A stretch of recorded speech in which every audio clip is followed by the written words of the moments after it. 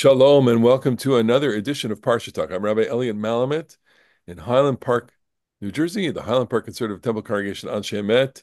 And joining me are my good friends, Rabbi Barry Chesler and Solomon Schechter Day School of Long Island, and Rabbi Jeremy Kalmanofsky, Anshe Chesed in New York City. We are recording this during the Aseret Yemei Tshuva. This today is day 369 of the war, um, which which in itself is uh, just overwhelming to think about. We'll talk about that in a second, but first Gemar Chatima Tova to all of our viewers and and listeners. Uh, wishing everyone uh, during this week of Tshuva, Aseret Yemei Tshuva, uh, a um, an easy fast, a meaningful Yom Kippur, as we're going to talk about that, and entering Yom Kippur this this year under these circumstances.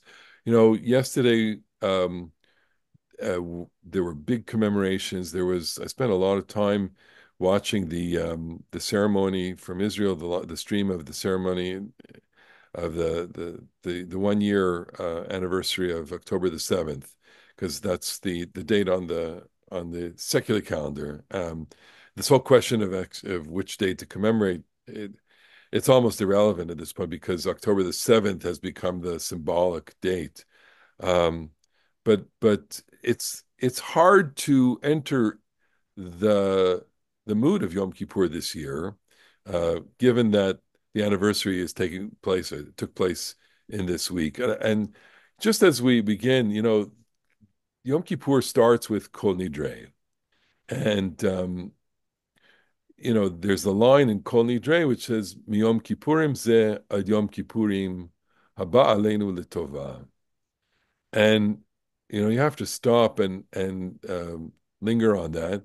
From this Yom Kippur to next Yom Kippur. Now, in the context of of Kol Nidre, you're annulling vows. It kind of doesn't make sense what we're saying. We're we're saying that anything that we promise, you know, for the future, uh, we we hereby nullify. It may be, in fact, a reference to unfulfilled vows of last year, but forget the vows for a second. It's it's really thinking about a year and at last Yom Kippur, to this Yom Kippur and thinking about this Yom Kippur to next Yom Kippur. And, and of course, none of us would have ever thought uh, that the world would have changed for us from last Kippur to this Yom Kippur. Last Yom Kippur, we were busy, you know, thinking about, well, it's 50 years since the Yom Kippur War. Um, there was a lot of reflection on that. And then uh, October the 7th happened, and that basically knocked the the the kishkas out of everybody. Um, no more thinking about the past, but thinking about really, you know, hours before us and the days ahead and the weeks ahead and and all of that. Um, I wonder as we we read that verse, you know, Yom Kippurim ze ad Yom Kippurim haba aleinu letova. Concealed in that is the, you know, this sense that you know let's pray God that that uh, that this world will be much different from from what it is right now. I don't know if you have a reflection on that. I'm just going to pitch that out as the the opening pitch for for our conversation. So I, I, would say that brings up for me, you know, an, an interesting dynamic about Yom Kippur. Uh, and I spoke about this not on Rosh Hashanah, but during the month of Elul, I had a, you know, an evening class one time about this uh, this year are you trying in the period of tshuva and in this high holiday period to change the future, or are you trying to change the past? Okay, and I think what you said was is really quite you know quite on point. It doesn't make any sense, or it doesn't really seem to make moral sense, you know, in Kol Nidre to say, I hereby renounce anything that I will promise to do. And I, and I kind of suspect that it hasn't always redounded to the credit of the Jewish people that we start off the holiest day of this year saying, if I tell you something, don't believe it. but I, I have to disagree with you there. it does make more sense to say, you know, as, as you said, I think this is correct. It's, it's a mitzvah from the Torah, it's a mitzvah right to fulfill your fulfill your vows. If you fail to fulfill your vows, you, you begin with that harata, it, it haratna bahon. I'm sorry that I that I re, you know I regret those. Explain things. a regret, yeah. I regret. I regret. Um, and so there's a lot of ways in which the high holidays are trying to trying to turn towards the future and i do think that there is something like spiritually wise about saying, um, uh, uh, uh, you know, like don't lacerate yourself about the past. You can't whip yourself up. You can't beat yourself up about the past. Try to be better in the future. I got it. But there's an amazing teaching in Tractate Yoma that is very well known and very beloved among us, us of the rabbinic class, that I think is really deep. And, and I, this is what I talked about in my class this year. Um, that anybody who makes tshuva out of ahava, you repent out of just love, your willful sins of the past get turned into merits. What? You get turned into merits? It becomes a mitzvah that you did that sin in the past? And I think the idea is something like the past is never over because you still have to rewrite the story of your life. The past is never really closed because it becomes knit into a story about how you're going to live. In other words, you still have to deal with your past. You can't put your past in your rearview mirror. You have to deal with your past. And if you deal with it in a productive way, if the if the regret, if the heartbreak, if the reevaluation of who you want to be changes, then those steps where you got lost before, they suddenly add up to a different story about who you are. And so I I I, I kind of get why the prayer book turned from an expression of regret about the past to a to a you know forward looking uh, view. But I, I like the idea that my past stuff doesn't evaporate. It's still in my still in the pocket on my back and i still have to deal with it. Well i would go a step further. Not only do you have to deal with it it can still be redeemed and i think that you know one of the huge ironies of yom kippur especially as we get older is that we keep coming back haven't we learned any lessons in our life? Why are we still repenting for the same sins that we did, in my case, over 50 years ago, some of them? And I think the reason why Kol Nidre is cast the way it is, is actually an attempt to be redemptive, that we're telling ourselves we're going to be here next year. And we're going to have the same issues or many of the same issues. But this year, I can change, and if I can't, I have the security of next Yom Kippur to come back to. And I would connect it with my favorite prayer for the high holidays, which is Unetana Tokef. And I think a lot of times we focus on the beginning part, who's going to die by this and who's going to die by that, and we kind of lose sight of the punchline, which is Utshuva Tfilah Staka Mavirina Roah Gzeira, that repentance, uh, prayer, and charity as our colleague Rabbi Eliezer Diamond put it, postpone the evil decree. Right? We can only put our death off for another year at the most because one day we're going to be called home. And I think that the idea is that even though life seems like it may be written in stone, which is the way sometimes we imagine the book of life, it actually is written with a lot of room for change and that our role is to change it. You know, last week I spoke about Chuvas coming home, and I think that this model of Chuvat Filat Staka are three different ways of being at home. We want to be at home with God. We want to through Shuvah. We want to be at home with ourselves through prayer, and we most especially want to be home in the world, which we do by Tzedaka. Well, let me let me ask you this question, just because you made reference to the deep past, and and this line in Kol Nidre refers to you know what's coming in the future, and of course we also think about things that we have uh, promised that we did not fulfill. I think you know what goes through our minds is that that we're nullifying those things that we didn't fulfill. Um, but the question I have is is is Yom Kippur only visiting or revisiting the last year, or are there the scars that we have from from years ago? You you said 50 years ago. That that would be um, quite a long time. But but the truth is that uh, I think we all carry as you know we get older. We certainly you know we certainly carry things from from earlier parts of our lives. The extent to which we you know these things pulsate in our lives, these you know uh, sins, mistakes, you know flaws, decisions, etc., uh, that we may have healed from or atoned for or you know sought forgiveness to what extent they they are now you know re re-unsealed and then revisited and then resealed um, to what extent are we revisiting our own selves? I was thinking, you know, I'm, I'm thinking about sermons and thinking about what to prepare and what to talk about, and thinking like, you know, do many of us change from year to year? Do do do do we really learn? I have a whole list of things that I want to improve on. You know, if I go to this list, I go like, eh, don't, you're still the same. You're you're still pretty much the same. You know, it's it's yes and yes. I mean, like uh, yesh because it seems to me that there are, and and it's it's tied actually to what you, how you define a sin. Like, I'm an let, let's say a person says, you know, I'm an impatient person. I, I'm, I'm, I'm kind of easily angered. Or somebody says, you know, I'm really not that generous. I, I just, I find it hard to, to give stuff away. Those are like personality defects that we'll always be working on. And then there's behaviors and deeds like I stole that money and either I, I didn't pay it back, which in case that then it's still hanging over you, or listen, I, I paid it back, but I'm just really still so upset about that. There's a way in which if you repeat it, you know, the, the personality defect part, that's always with you. That's who you are. You can't just decide. You just can't decide in tshuva that you're that you're no longer you're gonna you're no longer gonna be impatient or you're no longer gonna be ungenerous. You have to work on those things, and you hopefully you'll build those capacities. But if you keep beating yourself up on you know a bad act, there's a way in which it's actually a little bit mean to God.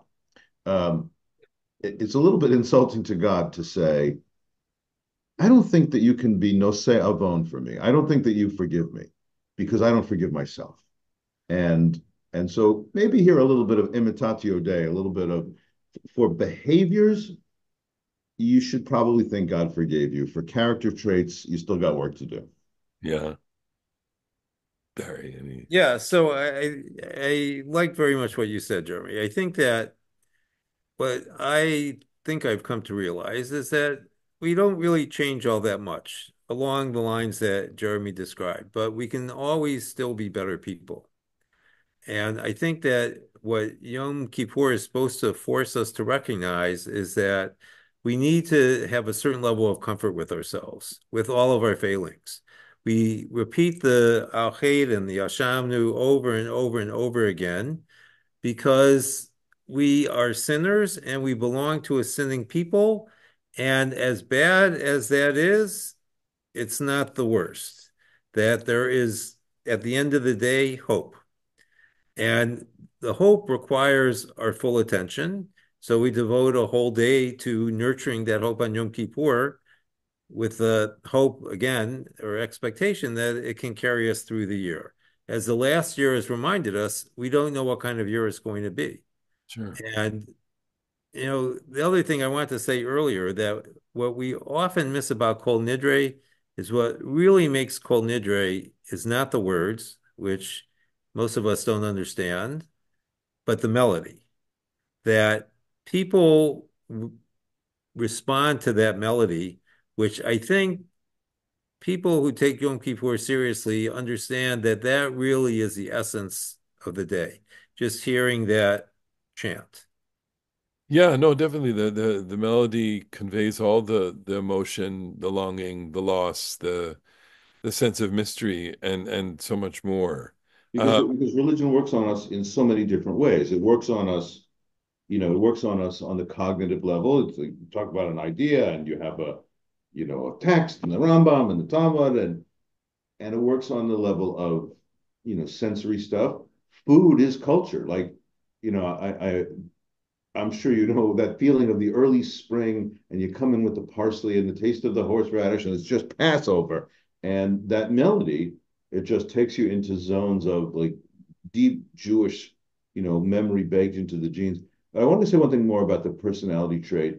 There, there was a very well known uh, Israeli national religious rabbi, Rav Shagar, Rav Shimon Gershon Rosenberg, who's famous for a lot of things. He was he he is a character in his friend Chaim Sabato's book about the Golan Heights fighting in '73, um, badly burned in a tank, and he and Chaim Sabato comes up and and he really he really is a person of light, and Rav Shagar is a scarred, literally scarred and emotionally scarred person. And he has an essay in which he talks about tshuva as self acceptance.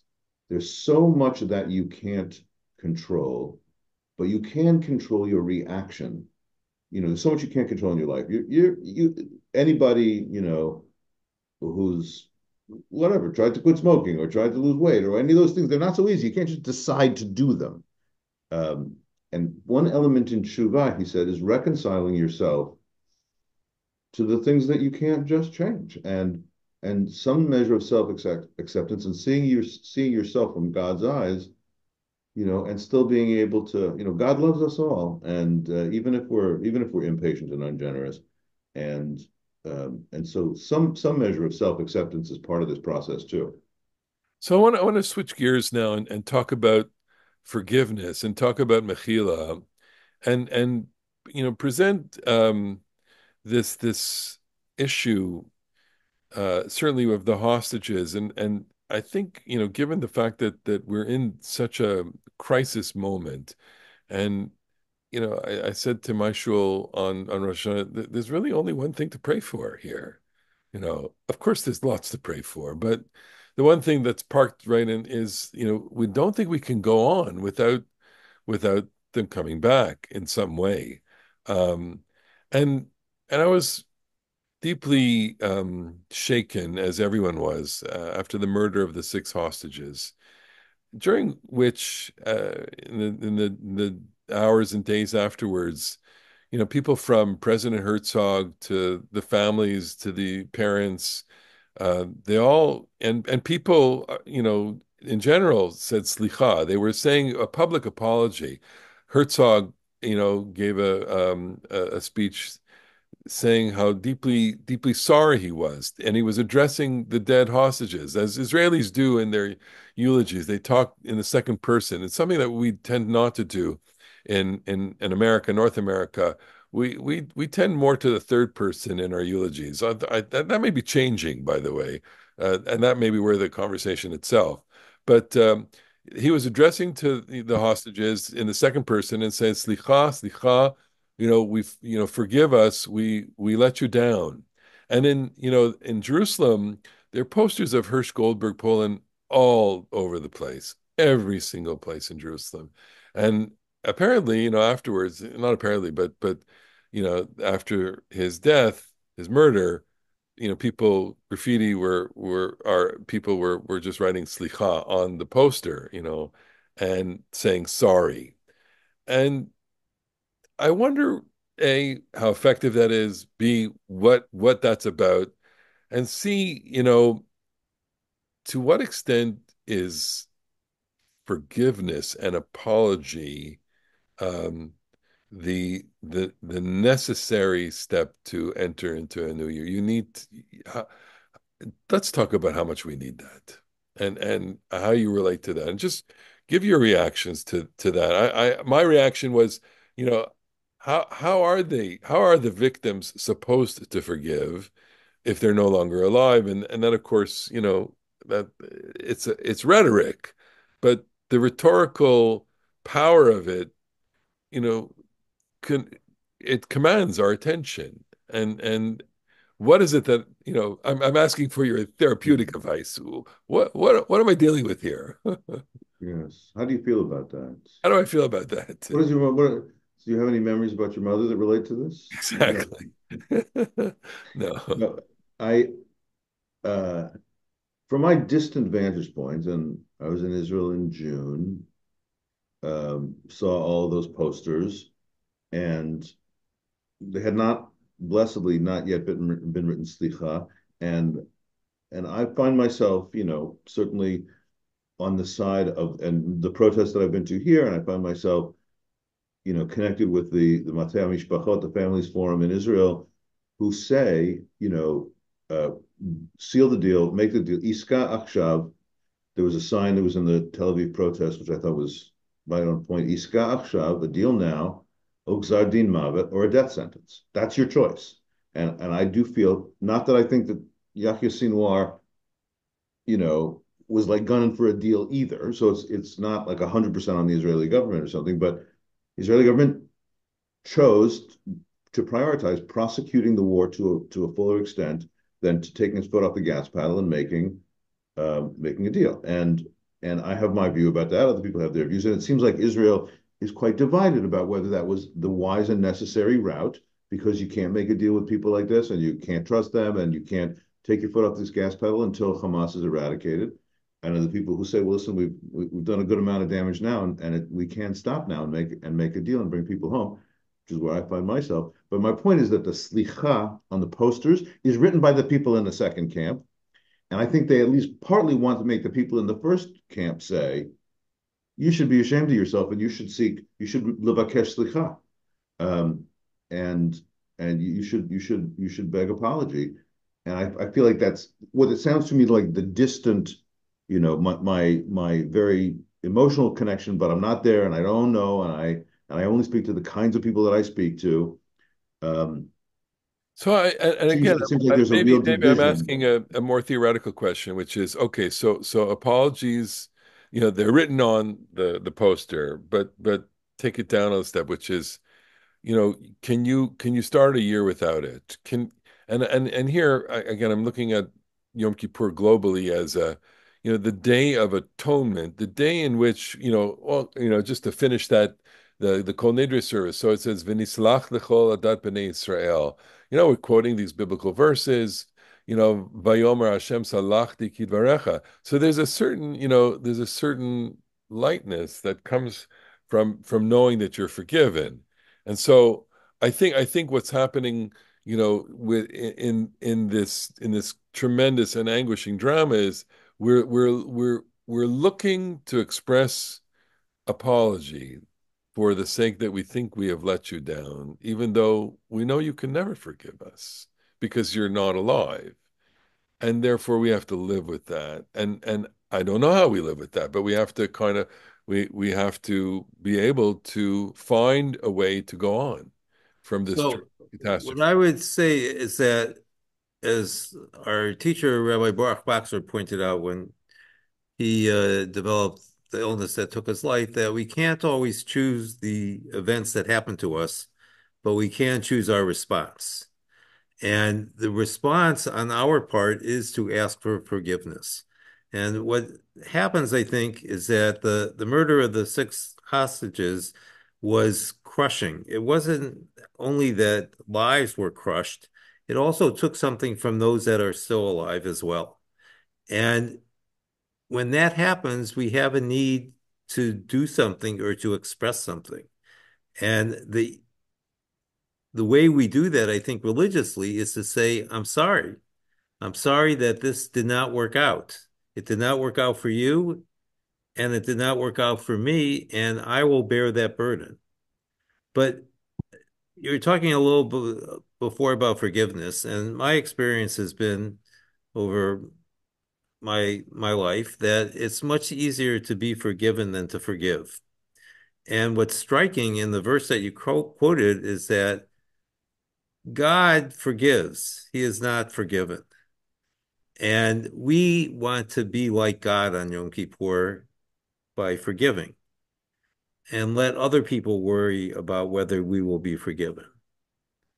I'm I'm not sure. I I I, I, I think that we the active thing is to forgive, but that's what we have the most difficult with difficulty with. We want to be forgiven. There's no question about that. When we do something wrong, we say I'm sorry, and we expect to the immediate response often to be, "Oh, that's okay." But when someone does something to us and they say I'm sorry, we our tendency is to say, "I don't believe you." You know, it's got to work both ways. If we Yeah. want to be forgiven, we have to forgive. So I, Yeah. the, uh, Yeah. beautiful, and I think that's totally on point. I, I said this on Rosh Hashanah. Uh, you know, Avinu Malkeinu Kodveinu b'Sefer Slicha u'Mechila. Mas, you know, our Father, our King, right? Inscribe us in the book of forgiveness. Uh, you have to inscribe. You, you might be you might be inscribed on the side of the person who receives forgiveness. You have to inscribe yourself on the book of forgiveness because you gave it. I, I for a second there, I thought you were saying, and maybe you were, we we need to forgive God, and that that you know God is forgiving us, um, You know, I'm, I'm reminded of that beautiful Yiddish proverb that if God lived on earth, all his windows would be broken, you know. And, you know, people do have, you know, their tangled up relationships with God because they feel that life has been unfair to them. hmm And and um and that that sometimes the burdens of of that unfair life uh, are are quite anguishing as as you know the families of the hostages and all and all and the people who have lost loved ones are are experiencing. There there there are people who are able to say, "Hareini mikabel et gzerat cha be'ava." I accept your decree on my life. I accept the decree. We, we- you know, I accept what has happened with love. Um, it's it's not easy to say that, but but that's where we we want to get to that place of acceptance. And there are some people that say, "I'll never be able to accept this, never be able to reconcile my relationship with God, given given you know the the unfairness that I've had to endure in life." That's what people say. So so are you saying, or should we say, or can we say, um, you know, God forgives us. Uh, maybe we need to, and is it audacious to say? Is it arrogant to say, you know, that God is asking us to? There is a tradition where God we we forgive God as well, rooted in Hasidism. I've been reading a lot of stories from the late Elie Wiesel, who Yeah. wrote a number of books about biblical characters, rabbis, and Hasidic masters. And there is that sense that God needs to be forgiven too, but that's not the direction I was going. The verse that you quoted was Salachti Kidvarecha. I forgive you As you at have. your request or according Yeah. to your word. And the power in that is that God forgives. And therefore, it's incumbent upon us to forgive, not incumbent upon us to be forgiven, but to actually forgive, which is much harder to do. right. Right. You know, God often takes the harder role and asks us to live up to him. Let me ask you this question, which is, which is, have you ever um, apologized and not been forgiven? Um, in in in the course of the, the rabbinate, uh, I've had experiences where you know things have gone awry, and and uh, uh, I, I've tried my apologies with people, and um, I've I've been disappointed in in the reciprocity of this, Well, the lack of the reciprocity. lack the lack of reciprocity, and I feel you know uh, uh, there there is there is a command, there is a halacha that if someone asks you for someone apologizes to you, you have to accept the apology by the third time. by If the they, third time if you are convinced that they are genuine. if you're convinced that they're genuine. Right. Okay. It's right. And there's a lot of fudge factor in it, but it also is a recognition that some people find it very hard to forgive. Yeah. But again, I come back to this idea that if we want to be forgiven, we have to forgive. And I think the reason why we want to be forgiven is because that's how we find some peace in our own lives. The, the And in order to find peace in our lives, we have to enable other people to find peace in their lives. That, that's Right, the so- that's the good way of saying it. The, the Christian thinker C.S. Lewis has a great line. He says, "For the most part, uh, you know, for, for other people, we have a very high standard. It's, is the point you're making, but he he he makes it in, in a snarkier way than you are now. He says, for, for most people, we have a very high standard. That it's- what they've done is just really unjustifiable and unforgivable. And what we want for ourselves is not really forgiveness, but an excuse. Like, well, actually, we didn't do anything wrong to begin with. But really entering in this process takes us down from both of those extreme and unhelpful ledges, edge, ledges that the that the person who, I think did something bad to me, it's it's just uh, you can't forgive that. And the person that I did, listen, what I did, I, anybody would have done the same what I did. And let's meet in the middle and say, we hurt each other, we you know, we hurt each other some, we're mean to each other some, we're at our worst, and we're gonna forgive each other and go on. Right. So, so in that sense, forgiveness is a tremendous gift, and it's a tremendous. There's a tremendous vulnerability. I think that the the tradition really is understanding of the fact that when you when you apologize, you're making yourself open to another person, and and that by doing so, the you have tremendous vulnerability, and that the person receiving the apology can't take advantage of that. That that there's a power relationship. The you are you have less power when you make yourself vulnerable, and the person who has to forgive has all the power, and their withholding of forgiveness is the is a, is an inappropriate use of their power. and it's a rectification of the power imbalance that happened in the sin because when I stole your bicycle, yes. you were rendered powerless and I was powerful. Yeah. And even if I've already paid you back, you know, given you back your bicycle or paid you the fee of your bicycle, the relational quality was still about one person was was powerful and disempowered and in some, you know, whatever way, I don't want to get all, you know, I say dis, you know, dehumanized, it's not it's not the worst thing it ever was. Um, but at some small level, you you said to to your friend, you can't even stop me from stealing your bicycle. And oh. and until you can so when you make yourself vulnerable, you give that person the power back that you stole. I often think that the Yizkor on Yom Kippur is about making amends with with the dead. In other words, we're remembering them, but we're also in some ways seeking forgiveness, which kind of brings me back to the murdered hostages, which is we'll we'll never get, you know, we'll never have a communication from them, you know, with in sorrow, um, but we're we're all we always want to live in the in in a, in a, in a space where we are going to amend our you know correct ourselves for the sense of letting them down.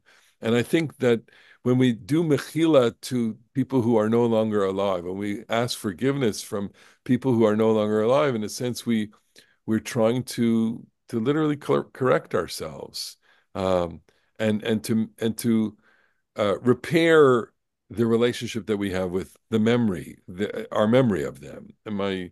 I don't know if you if you're you know connected or how would you connect to that uh, theme of memory and the dead, or do you on Yom Kippur. Is that?